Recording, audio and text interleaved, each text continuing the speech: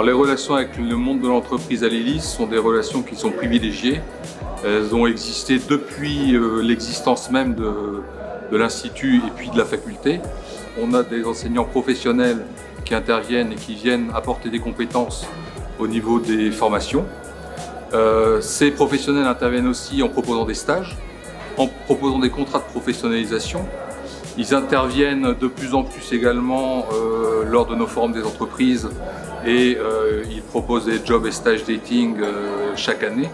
Et donc de plus en plus, on essaie d'établir dans les différents secteurs auxquels on prépare, eh bien, des, des- on essaie d'établir des relations privilégiées avec ces, avec ces entreprises.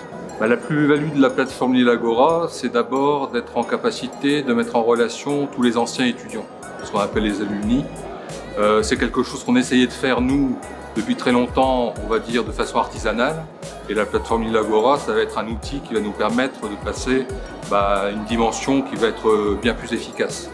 Ça va permettre également aux enseignants de s'impliquer aussi au niveau de la plateforme et de pouvoir justement mieux cerner le profil de certains étudiants. Parce que c'est vrai que on a des enseignants qui euh, sont plus attachés à être en relation avec le monde socio-économique, et puis d'autres qui sont plus attachés euh, à faire des formations qui sont disciplinaires. Et donc la plateforme, elle permettrait de euh, mettre en relation justement ces, différents, ces différents acteurs.